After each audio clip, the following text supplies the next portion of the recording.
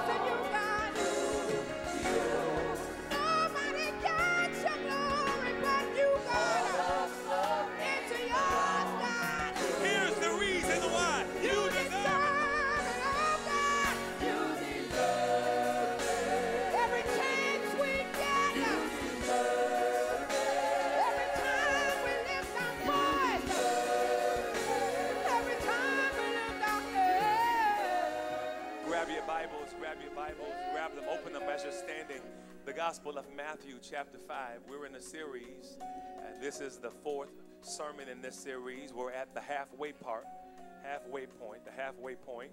And as you're finding Matthew um, chapter uh, number 5 and looking um, particularly at, at verse 6, I'll read all six verses.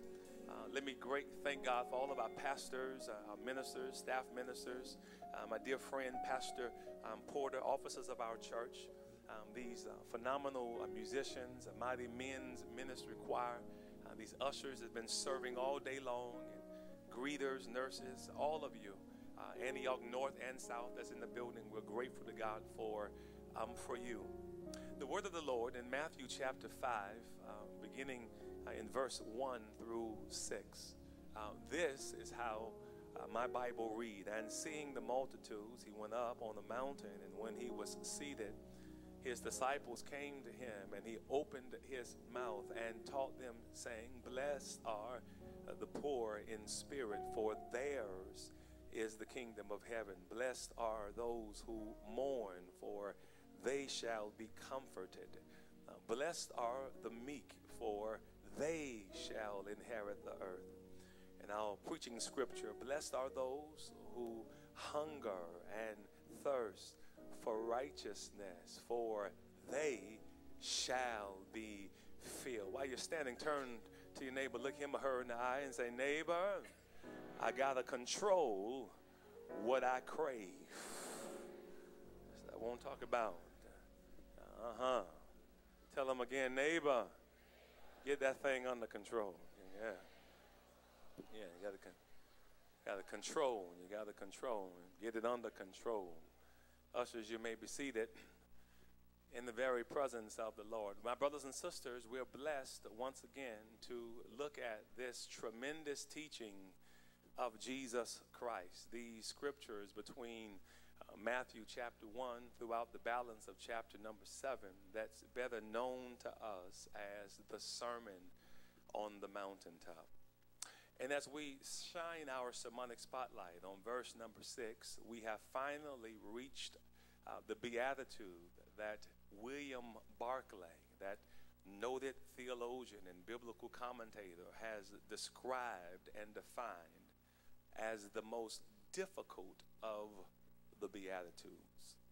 If, you've been following along with me for the last few weeks, um, you know that at this time in the text, Jesus has already um, sat his disciples down and he has already stressed to them the importance, number one, of having um, poverty in, in spirit. Uh, he shared with them in verse 3 um, Blessed are the poor in, in, in, in spirit. Um, he's already talked to them about um, having uh, or being in pieces when they, when they sin.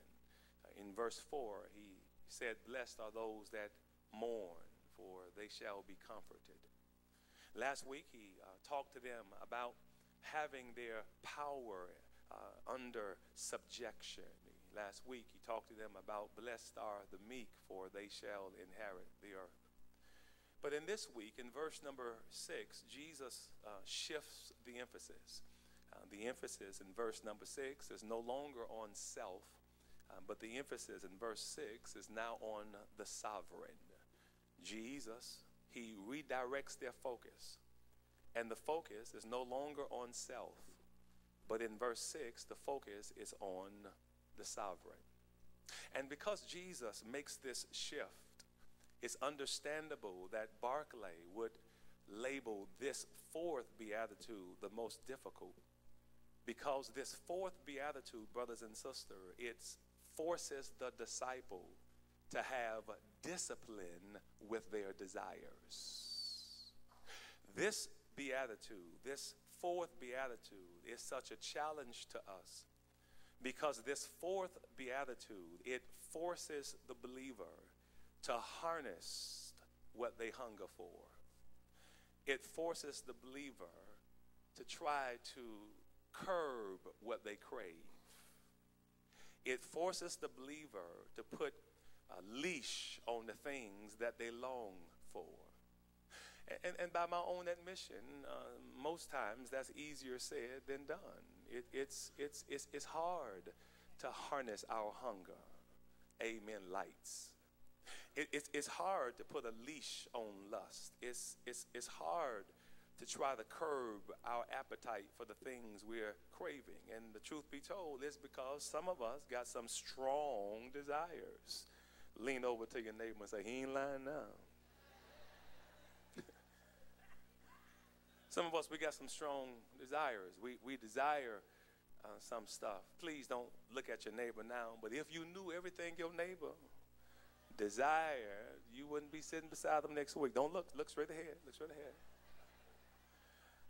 Because the truth of the matter is, we have some strong, we have some strong desires. Now, I want to spend a little time this morning, afternoon, rather, talking about desire because there's a misnomer. There's a misnomer that there's a misnomer that having desire is a bad thing. It's a misnomer that having a strong desire uh, is a sinful or a wicked or a bad thing to have. And I want you to know before I go any further that uh, having a strong desire is a good thing. Having desire is a wonderful thing. In fact, uh, if, if it wasn't for desire, we would perish.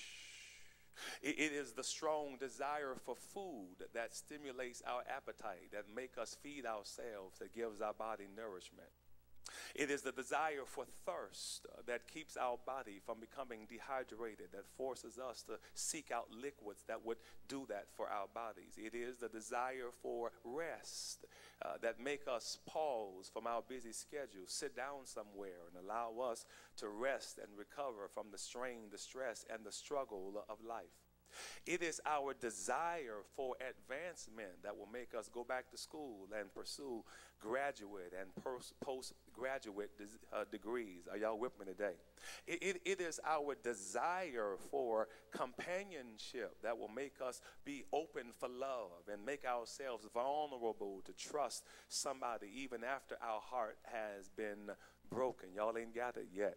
So it so desire is a good thing. And so the issue is not having a strong desire. The issue is having the wrong desire. I, have discovered that we don't get in trouble uh, because of our craving. We get in trouble because we're craving the wrong stuff. Are y'all going to talk to me today? We, we don't get in trouble because we have a desire. We get in trouble because we are desiring the wrong stuff. We don't get in trouble because we have a hunger. We get in trouble because we are hungering for the wrong stuff. Therefore, as a child of God, stay with me, it's going to get better. As a child of God, we have to learn how to control our cravings because if you're not careful, we will fall prey to what I call carnal cravings. Somebody shout back and shout carnal cravings. A, a, carnal craving, watch this, a carnal craving, they'll put it on the screen. A carnal craving is when we desire something that's outside the will of God for our life. I'll say it again. A carnal craving is a desire, it's a longing, it's a want for something that's uh, that's, that, that's not earmarked for us. It, it's a longing or a desire for something uh, that God has determined it, it's not for is not for us. I, I, I, was very meticulous about how I worded that definition, Duke, because you need to understand um, that a carnal craving is not sinful in and of itself. But what makes the craving carnal is when we want something that God has not earmarked for your life. Y'all ain't talking to me. That when we want something that God uh, doesn't want us to have, that, that's called a carnal craving. And when you read the Bible, you'll discover that the Bible is replete uh, with a plethora of people that were doing phenomenal things in life, but all of a sudden had a carnal craving, and that craving uh, got them caught up.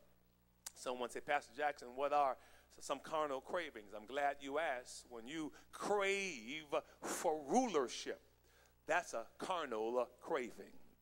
When you crave, when you have a hunger and a desire um, to be in charge, when you crave power, when you crave um, position. Y'all ain't talking to me. When you crave wanting to be the head, when you crave wanting to be uh, in a position of significance so bad that you're willing to do anything and, and do anything to anybody, when you crave rulership so bad that you're willing to act like a crab in a barrel and pull your sister or brother down so you can get ahead, that's a carnal craving. In fact, that's what did Lucifer in. Uh, in your Bible, if you were to read Isaiah chapter um, number 14, uh, verses 12 through 14, you will discover that the Bible says of Lucifer or Satan, same person, that he had a desire, and his desire was to ascend uh, up into heaven and, and, and build a throne that was above the throne of God. God. God, are y'all still here? God had to kick Lucifer out of heaven because uh, he had a desire to be above God. Look this way. Whenever uh, you crave an appointment without carrying an anointment, you're running the risk of having a carnal. Uh, have I got any help in this house? When you are craving power, when you are craving a position, when you are craving a rulership so bad, be careful because that can give birth to a carnal craving. But not only when we crave uh, rulership, but secondly, when you crave uh, recognition. Somebody shout recognition. Uh, when you want the spotlight, when you want people to pat you on the back, when you want people to esteem you highly, when you rob God of recognition, stay with me as I teach this morning, you're running the risk of having a carnal craving. That's what happened to King Nebuchadnezzar. Uh, in your Bible, write this scripture down in Daniel chapter 4, uh, around verse 16 and 17. The Bible says, as I paraphrase, Daniel uh, chapter 4, verse 30, rather, the Bible says that Daniel uh, or Nebuchadnezzar was walking on top of the walls of Babylon. Stay with me. And as he was walking on the walls of Babylon, verse 30 uh, of Daniel chapter 4, uh, Daniel opened up his mouth. And, and Daniel, as I paraphrase, opened his mouth and said, Oh, great Babylon that I've, I've built by my might uh, I, I, built for my glory and my honor. And no, nowhere uh, did, did, did, he ever claim that God blessed him. No, nowhere in his words did he give God credit and glory for how God had given him the strength. And because he was seeking recognition, because he was robbing God of glory and honor, the Bible says in verse 31 that while the word was still in his mouth, God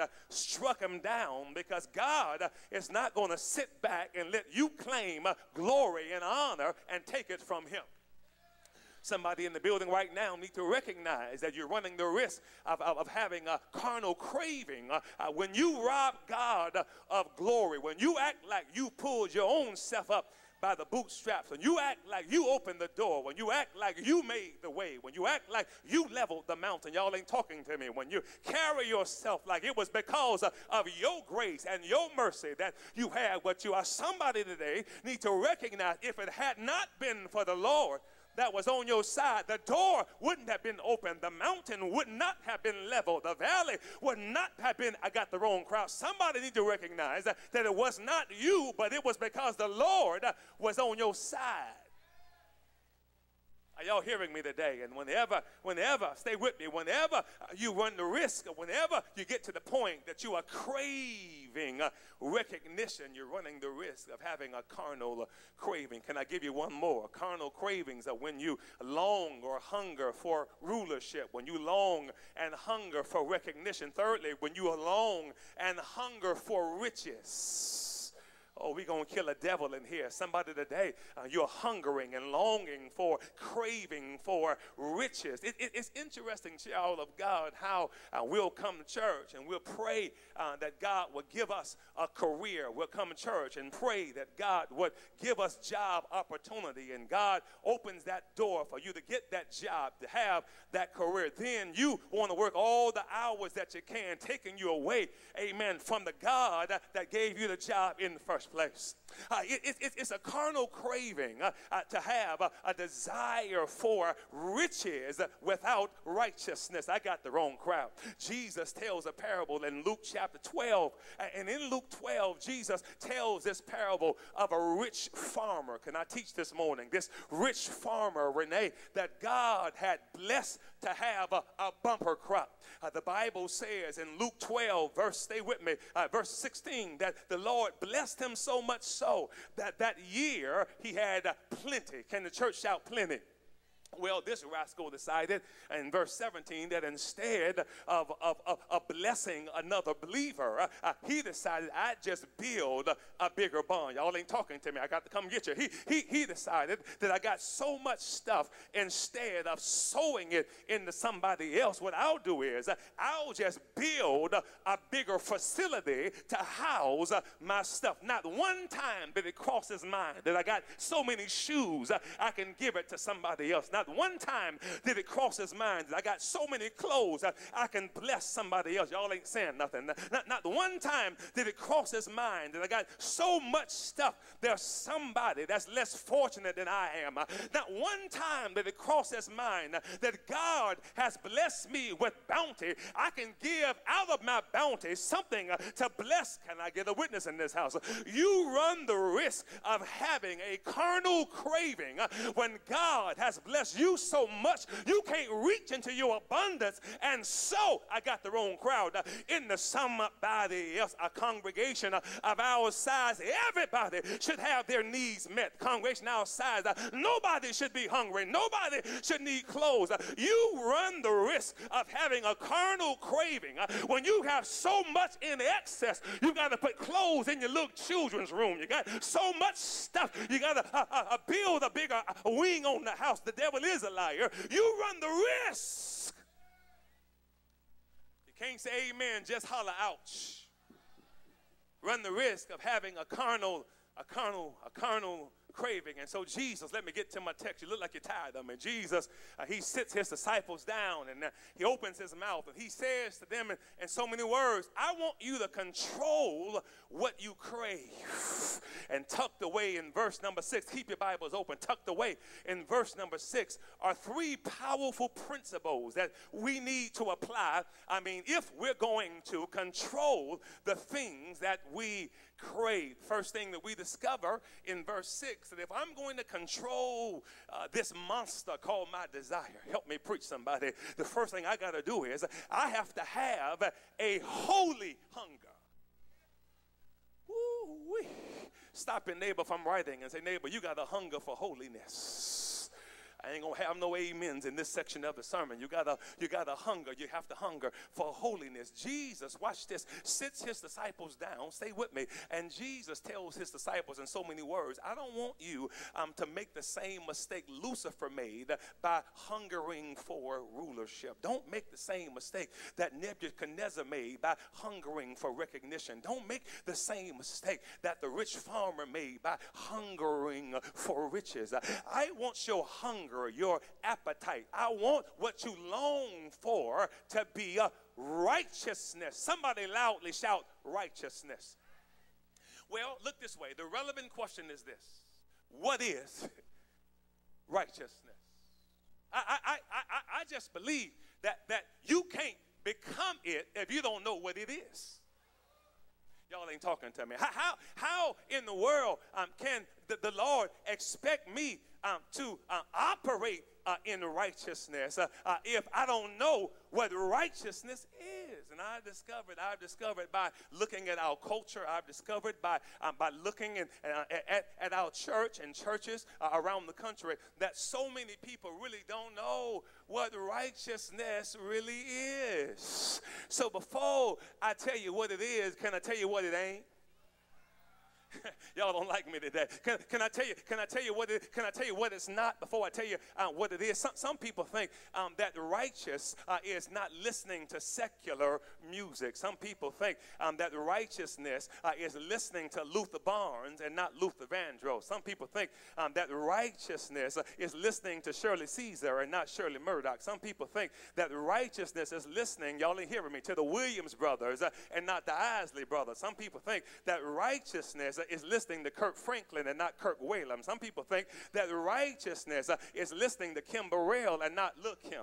you know, I, I, yeah, that's for y'all young people. So, some people think that righteousness uh, uh, deals with a certain kind of, of musical genre. Some people think um, that righteousness is wearing long white dresses with a little white cloth on your head. Some people think that righteousness is uh, walking around with no jewelry or no makeup. Some people think that righteousness is women not wearing pants. Some people think that right, I got the wrong crowd. Some people think that righteousness uh, is joining a certain denomination. Some people think that righteousness is not having a drink of alcohol or liquor. Some people think that righteousness uh, is not going to a club or a party. I'll keep going till I get to you. Some people think that righteousness is living a monastic kind of lifestyle, only surrounded uh, by believers in the faith. Help me, somebody. Some people think that righteousness is uh, walking around uh, quoting scripture all the time. Some people think that righteousness is uh, walking around with a cross around your neck and a Bible in your hand. Uh, but guess what? None of those things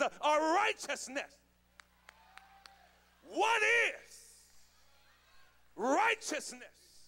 Uh, Arthur Pink, Arthur Pink, write that name down. Arthur Pink, uh, who's one of my favorite biblical writers, uh, Arthur Pink gives a phenomenal definition to me of what righteousness is. Arthur Pink said, uh, righteousness is uh, living or being in right standing with God and living in right standing with one another. I'll try it again. Righteousness is uh, being in right standing with God and living in right standing with one another. Don't miss that. Righteousness is both horizontal uh, and vertical. Help me, somebody. Righteousness is a vertical and horizontal. I'll try this side. Righteousness is a vertical and uh, I'll try this side. Righteousness is a vertical and horizontal. You can't have one without the other. There's some people that want to be in the right standing with man, but not in good standing with God. Most folk want to be in good standing with God and not in good standing with one another. You can't claim that you have righteousness and you love God, but don't talk to your neighbor. I, I, I, got the wrong crowd. I got the wrong crowd. Uh, baby, if you're going to operate in righteousness, uh, you got to have uh, righteousness, right standing with God uh, and right standing with one another. How can you love God whom you have never seen and you can't stand your brother who you see every day? And we're going to kill a devil in this house. I see it all the time. We come to church prepared to praise God. We step over people, walk by people, look up and down at people who may not wear the clothes you're wearing, may not drive. The devil is a liar. God wants us to be righteous. Someone say, neighbor, be righteous.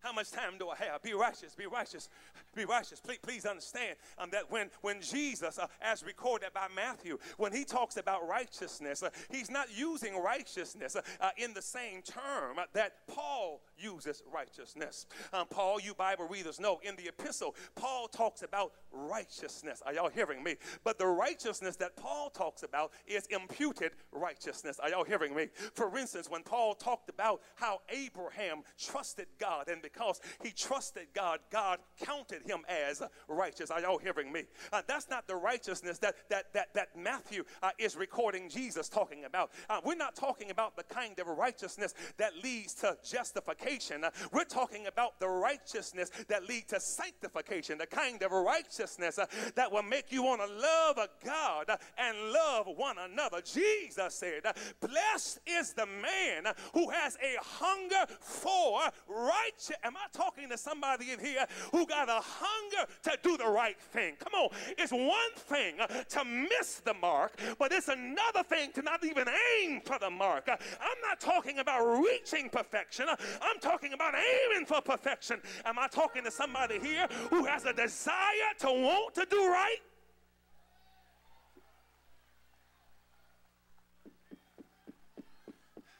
Um, um, um, watch this. Um, uh, it, it's interesting. It's interesting that, um, that, that, that people in church uh, will be first. Let me preach it like I feel it. People in church will be the first to quote the scripture.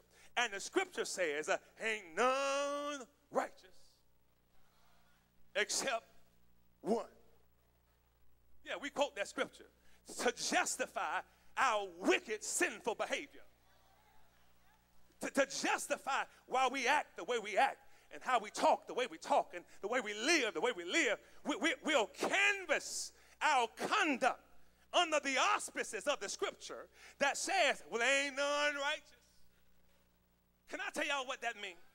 It means that there's only one person who has attained righteousness. But everybody else ought to be aiming. Just because you ain't attained it, don't mean you ain't trying to hit it.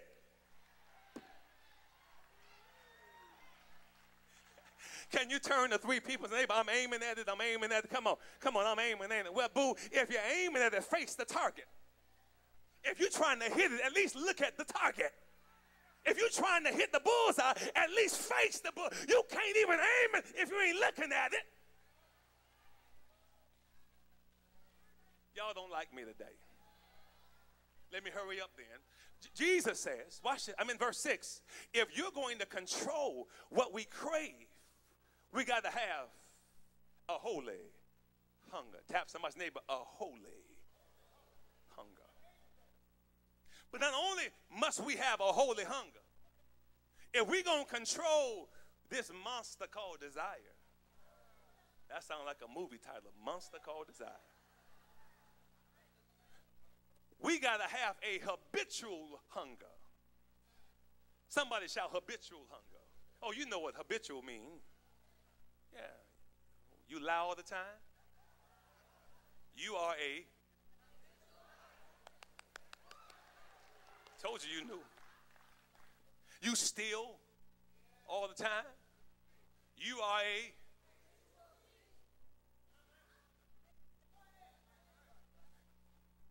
You miss church all the time.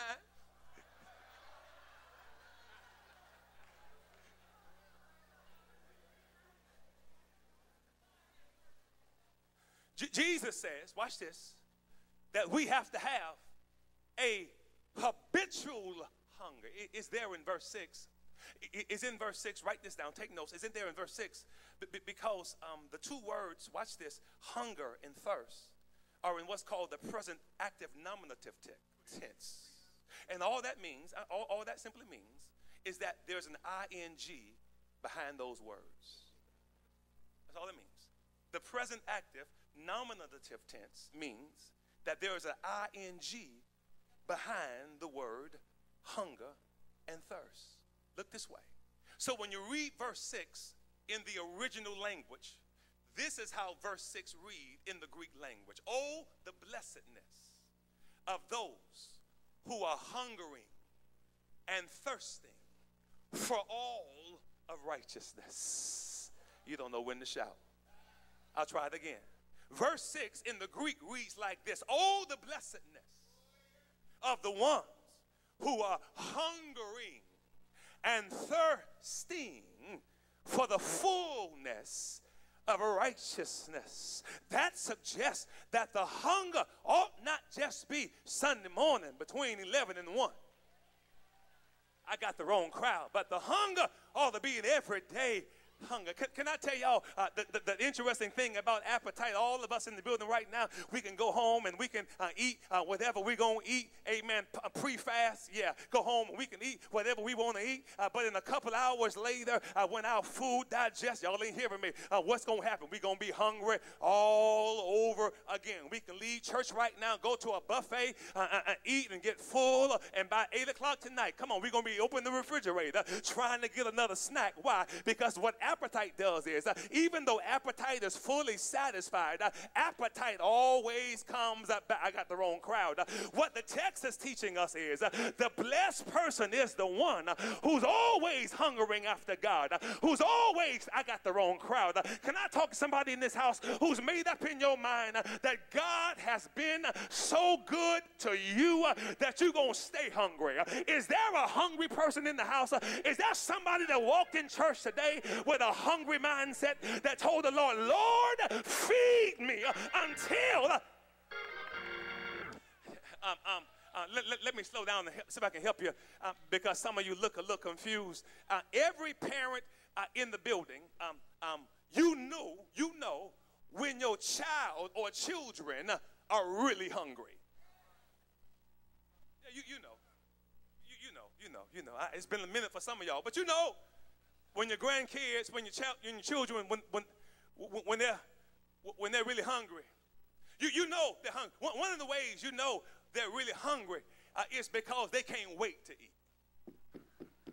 I mean, they, they, can't- they can't, I'm going somewhere, they can't, they, they can't wait um, to eat. So, so as soon as they sit down, they're, they're, they're ready. As soon as, as they sit down, they're, sometimes they start eating even before they sit down because they're ready um, to eat. Another sign that you know they're hungry is that they eat everything you know, that, that, on, on, on the plate. Watch this. They, they ain't picky. They, they ain't finicky. Help me, somebody. You, you know that your child really ain't hungry when they say, What's for dinner? And you tell them, Well, I don't want that. Well, you, you ain't really hungry. You, you see, I, I came from country parents. Uh, not country, but country parents. And, and they didn't make different meals for different children. We got six different kids. Sometimes all six of us wanted something different, uh, but they wasn't trying to cater to all six people. Listen, listen, this is what's on the menu. And when you get hungry, you'll eat what's on the t- I got the wrong crowd because when you're really hungry, you don't care uh, uh, what's on the menu. You come coming to get you, coming to get you. Some of y'all in the building, uh, uh, you don't come really hungry because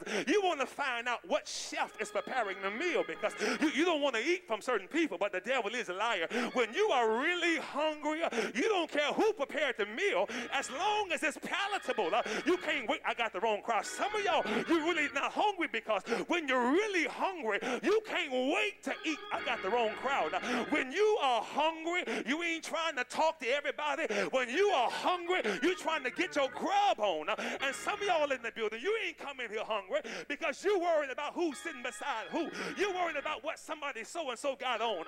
If you can tell me what somebody was wearing every Sunday, it's because uh, you are a spectator and I'm a participator. But when you are hungry for God, every time you come to church, you don't care if the choir sing, you don't care if Pastor Jackson preach, you came to get your grub on. Is there a hunger in this house?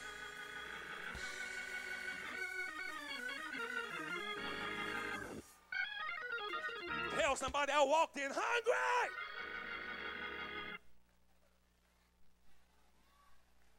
Walked in with starving spirit. Couldn't wait to come to this biblical buffet. I couldn't wait get in this house. I, have been hungry. I've been jonesing for a word, jonesing for something. I got the wrong crowd. Jonesing for a meal, jonesing, jonesing for a, a, a, full course meal. So the devil is a liar. You can't tell me I can't shout. You can't tell me I can't run. You can't tell me I can't make noise. You can't tell me I can't get up and act crazy for God. You can't tell me I can't open my mouth and holler like I'm crazy because uh, you don't know how long I've been waiting for this meal. You don't know how long I've been waiting for an opportunity to eat. And because because I came into the kitchen of God, I'm going to sit down and eat at the welcome table until I get full.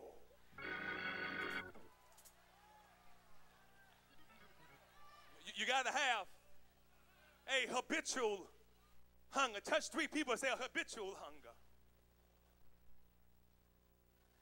Because, let me slow down, because our hunger has to be habitual. Peter First Peter 2 2, P- Peter says, write that down. First Peter 2 2, Peter says, we have to be like newborn babes. Come on, y'all. Desiring the milk of the Word of God. Your young lady over here got a little baby in her hand. She'll tell you that baby, I'm sure, always hungry. Hey, man, she, she look hungry right now. Baby, always. Baby, always. Always. Always hungry.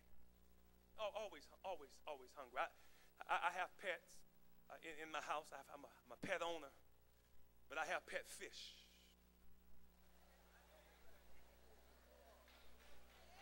Why y'all laughing? I don't laugh at your dog. You dress your little dog up. I don't laugh at y'all. Y'all be kissing the dog in the mouth and your nasty self sleeping in the bed with your dog. I ain't judging you. All in the bed with your dog, riding around the car with your dog. Y'all go shopping together. I don't, I don't judge y'all.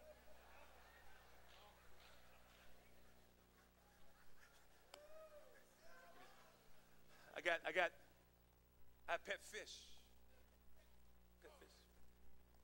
My fish are always hungry.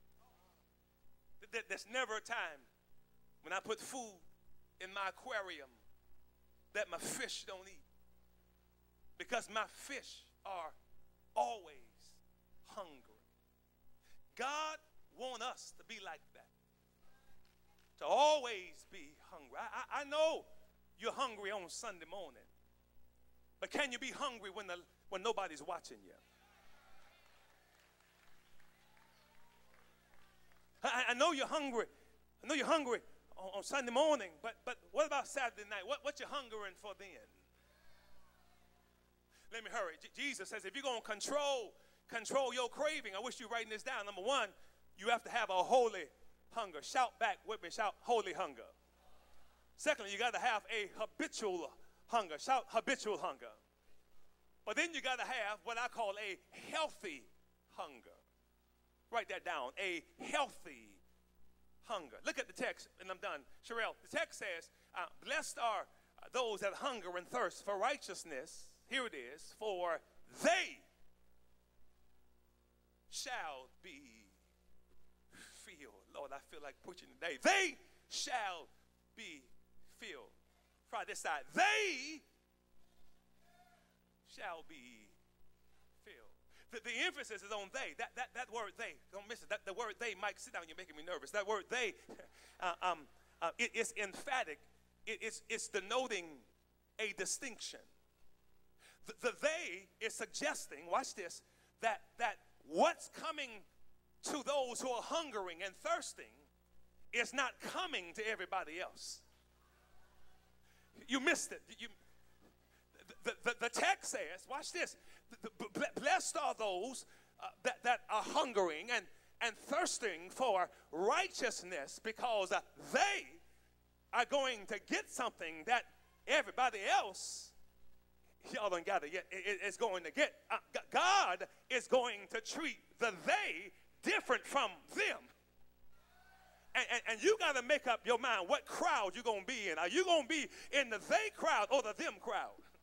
You, you, you can't be like them uh, expecting to get what they, I got the wrong crowd. Uh, uh, if you want what they are going to get, you got to come from among them because they ain't getting what them are getting. okay. okay, you, you added uh, three more minutes to the sermon because every time y'all look confused, you know what you do. You add three minutes to the sermon. I got to explain it to you. Uh, let me see if I can help you. Some of y'all are not shouting because uh, you don't know what favor is. Favor is when God don't treat them like he treat they. I got the wrong crowd. F- favor uh, is when God um, treats certain people different than other people. And when you look at this text, uh, it clearly says, uh, and they are getting something that everybody else ain't get. I got the wrong crowd. and somebody in the building, you know uh, that God has treated you differently all your life. Uh, that's why you're driving what you're driving, living where you're living, uh, because you've had this thing called favor on your life all your life. Help me, somebody. the reason why you shout the way you shout is because your testimony is uh, God has never treated you like He's treated everybody else. Uh, your testimony is uh, even when you didn't dot the I, even when you didn't cross the T, God didn't let happen to the other people what happened to you. Help me, somebody. Other people went down, but God brought you over. Other people gave out, but God let you get in. Help me, somebody. You want to give God a crazy praise because God has let you walk in favor. He's let you drive in favor. He's let you live in favor. Can you give somebody a high five and tell them, neighbor, you just high five the favored hand. You just high five somebody that God has been leaning toward all of his life. I should have been dead. I should have been in my grave. I should have thrown up the white flag, thrown in the towel. But because of his goodness and mercy, we are not consumed.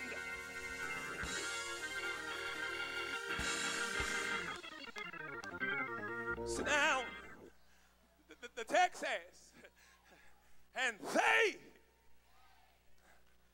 they, they, they, they, they, they, they, they have something coming to them that everybody else don't have coming to them.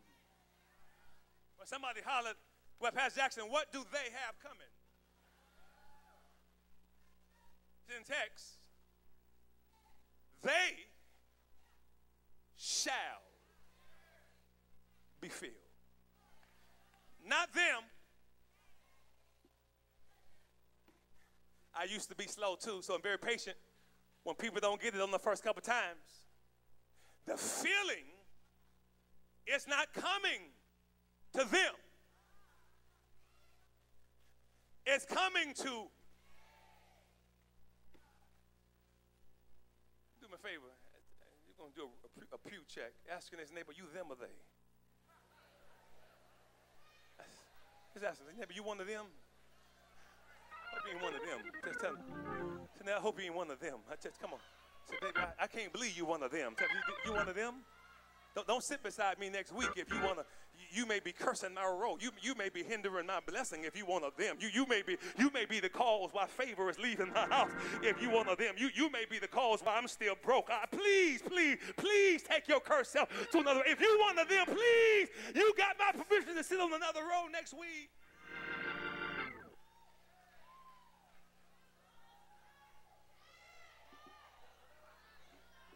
I'm almost done. I'm, I'm almost done. I wouldn't be a Baptist preacher if I didn't say I'm almost done five times.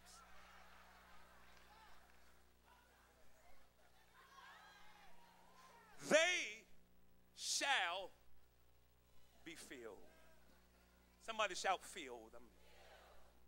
That, that word filled in, in the Greek, they're going to put on the screen. That word filled, it means this it, it means to be completely satisfied. Completely satisfied. It, it speaks of being completely satisfied. Speaks of being full. Speaks of being fat. So full that you're almost uncomfortably full. I, I, don't, I don't want you to admit this. Just wink at me if I'm talking to you. Have you ever eaten so much? You just, just wink at me. Uh, don't, don't raise your hand. I, I mean, you, you, I mean, you ate so much. You, you, you're girdle tight. I mean, just wink. Don't wait. Just whisper. I mean, you just. I mean, you're so full. I mean, you, are so full. You, you want to just.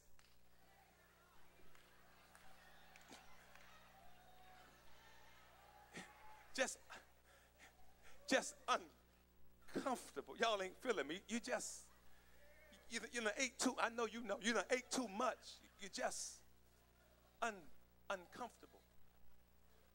Watch this. They, they shall be filled. But but filled is in what's called the passive voice.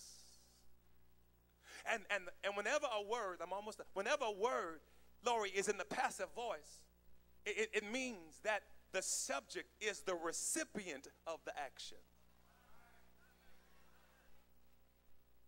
It it, it means, Munchie, that that that you can't feel yourself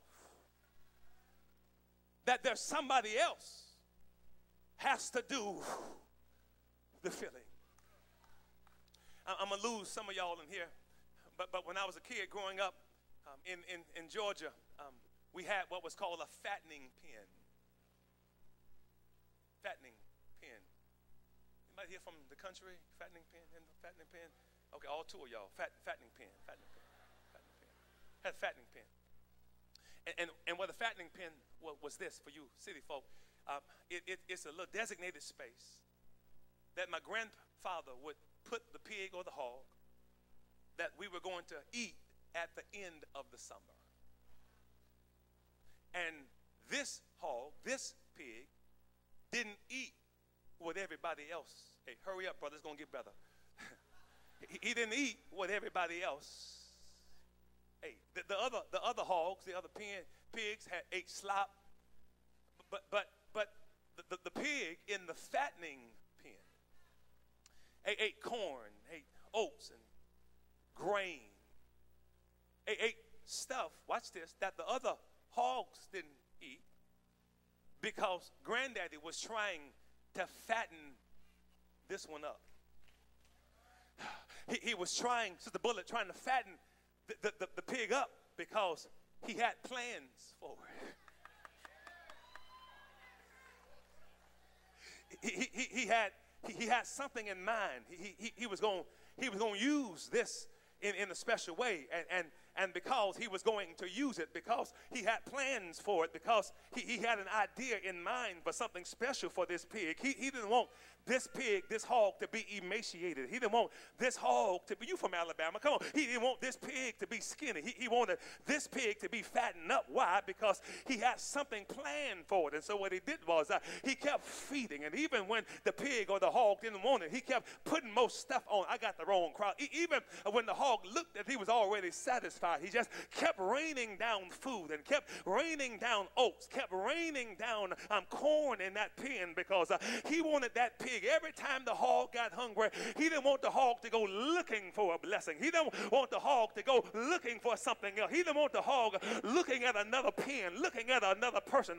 He wanted that hog to have everything that he needed. Why? Because uh, he had plans for that pig and he wanted that hog to be fattened up. Can I give you a word in this house? Uh, Uh, That word be filled mean that God has plans for somebody here.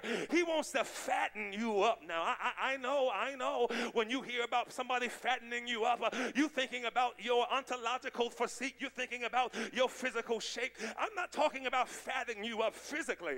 I'm saying that God wants to fatten your bank account, that God uh, wants to fatten your influence, that God uh, wants to fatten, He wants to make your business larger. He wants to make your influence. I'm talking to somebody right now.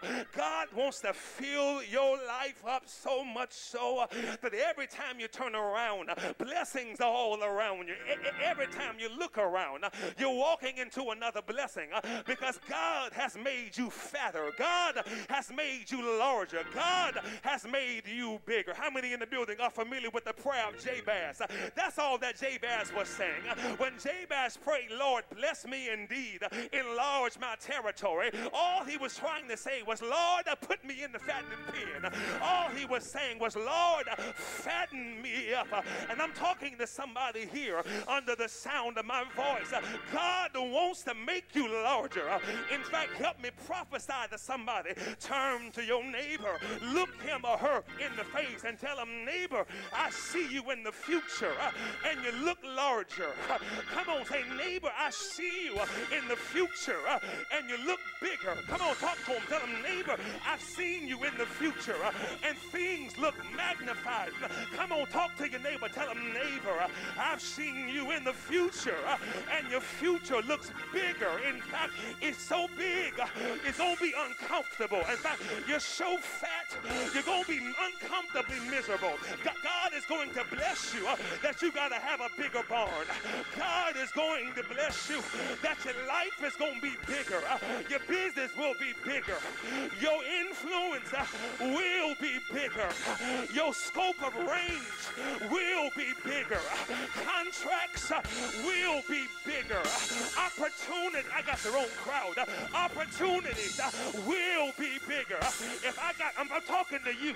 Give somebody high five and tell them, neighbor, get ready for an upgrade. Come on, talk to them. Tell them, neighbor, get ready for an increase. Get ready for a feeling. And when the Lord fills you up, you ain't gonna have to go looking for no external thing because the feeling is on the inside. I gotta get out of here. But in order to be filled, you gotta control your craving. In order to be filled, you gotta have a holy hunger. Is there a holy hunger in the house? Is there somebody that can tell God, Lord, I have a habitual hunger? Raise your hand if I'm talking to you. Is there somebody that can tell God, fill me up until I overflow? Somebody shout, overflow, overflow, overflow. Grab your neighbor by the hand. Say, neighbor, I pray overflow in your hands. Squeeze that hand. Tell him, neighbor, overflow, overflow, overflow. Let go that hand. Take your hand over yourself and prophesy and declare, I speak overflow over my life, overflow on my home, overflow in the house, overflow in the business, overflow in the walk, overflow in my talk. I ain't got no in here. If you believe it, don't wait till it happens. If you believe it, don't wait until you get it. If you believe it, open up your mouth and declare it's mine. Declare it's mine. I can't hear you. Declare it's mine. Yes. Yes. Yes. Yes. When you see me walking right it's because I'm filled. When you see me talking right, it's because I've been filled. When you see me turn the other cheek, it's because I've been filled. When you see me love my neighbors, it's because I've been filled.